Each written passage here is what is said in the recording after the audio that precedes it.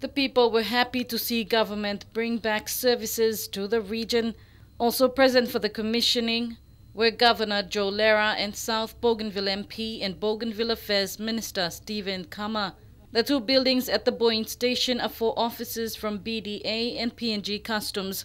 The two government agencies will work closely with local authorities to capture strategic areas in order to protect our country and resources. They also focus on developing human capital, trade and investment opportunities for border communities. The agencies have set up permanently in the region to effectively stabilize, control and manage movement of people, goods and services into the islands of Bougainville.